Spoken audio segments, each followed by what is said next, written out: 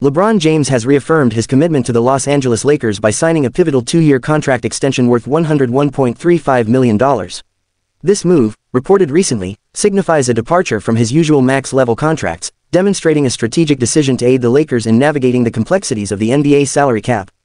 Speculation had swirled about LeBron's future during the offseason, with hints of a potential departure from LA.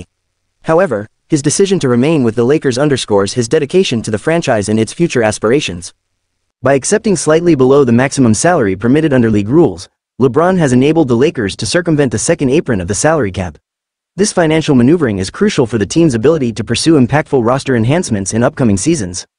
The contract extension not only extends LeBron's tenure through the 2024-2025 season but also positions him to potentially break new ground in NBA longevity, surpassing Vince Carter's record for career span. The deal includes a player option for its second year, affording LeBron additional flexibility and stability as he continues to shape his legacy in the league.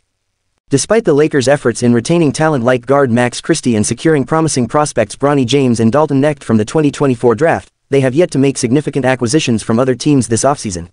LeBron's decision to sign below the max reflects a strategic alignment with the Lakers' long-term vision and their ongoing pursuit of championship contention.